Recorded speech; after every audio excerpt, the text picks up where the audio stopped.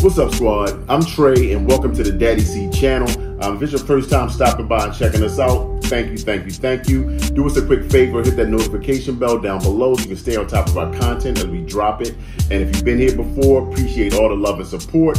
On our way to 5K. Thanks for sticking around, checking out, and vibing with us here uh, on YouTube as well as on socials, Instagram, TikTok, all of that at Real Daddy Seed. Um, today's topic I want to get into is really something that you know just has really been kind of just kind of sticking in my head since Mamba Day. All right, we're gonna talk about a shoe that came out that is tied into the Kobe lore. You see my T-shirt. I'm a huge Kobe fan. If you've been here on the channel, you know we are big into Kobe, um, big into Kobe sneakers. Been a collector of his for a long, long time. And I just want to talk about the Air Flight Huarache uh, that came out this past August in the Lakers PE colorway because I just got some things to say about this shoe, about the release, and about how this shoe moved. All right. So, with that said, it's a beautiful shoe, right? And right now we've got this thing where the Kobe love is out of control. As soon as the shoe drops, right, it's been so hard to get a hand on. Um, RIP Kobe, you know, since everything happened, I have been able to get my hands to touch a pair of new Kobe's that have dropped.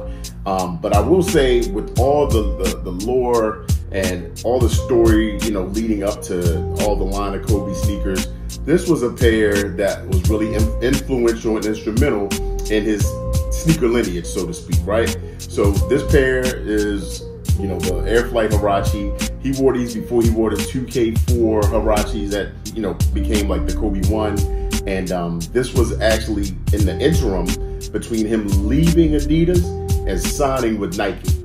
So, you know, when they say that, when they, when I saw that this shoe was coming out, I was like, man, this is a pair that I gotta have. You know, because of that, we got the Lakers colorway um, that's never been released before. These again were a PE um, the Air Flight Huarache made popular by the Fab Five, you know, Michigan, Chris Webber, Juwan Howard team. Um, back in the 90s, you know, this shoe came out in 1992. Um, this pair, Kobe wore these in the 2003-2004 season. And I remember when he wore them, man, and it was like, these were dope, dope, dope colorway.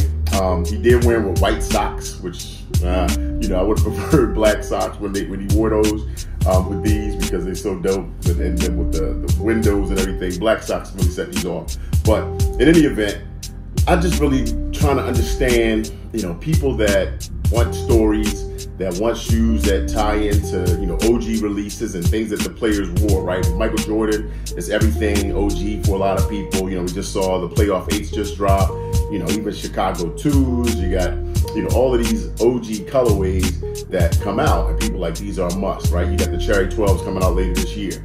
Um, these were a PE nonetheless, right? PEs are super limited, exclusive, so hard to get.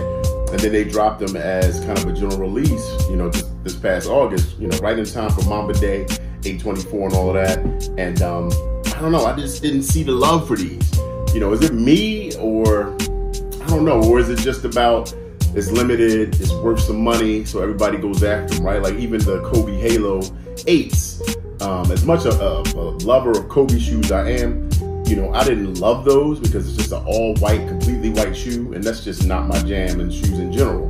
Um, I would have took a pair, you know, taken a pair because I like them in the collection for my Kobe collection and things like that. But um, I'm just curious, man. Like, is it just me or is the love kind of just built on different things. Not that people don't like Kobe, don't love Kobe, but when it comes to the sneaker, a shoe like this drops, and people just like, eh, you know, kind of yawned.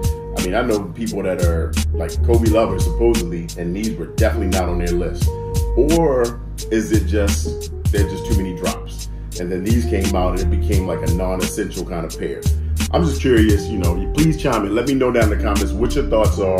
If you cop these, whatever the case was. Um, I dig them. I mean, these were, you know, the Huarache, Airflight Huarache are just a comfortable, comfortable pair.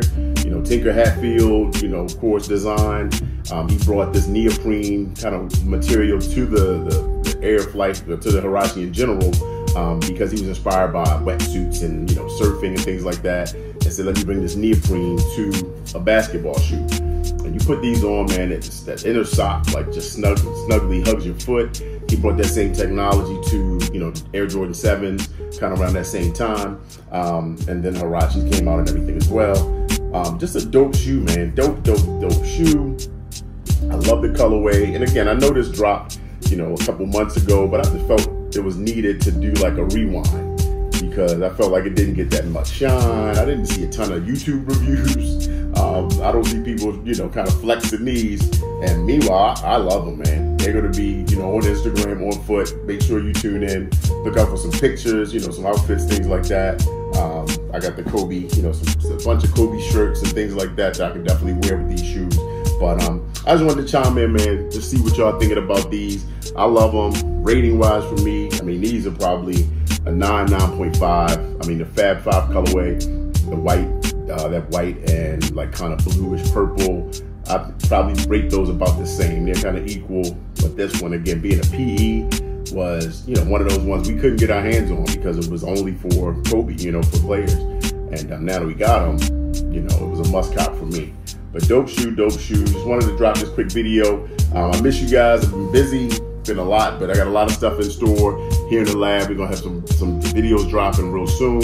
Um, so just stay tuned. Stay tuned here on YouTube. Uh, stay tuned on the socials at Real Daddy Seed across the board. That's Instagram, Twitter, TikTok, all of that stuff. And I will see y'all on the next one. Peace.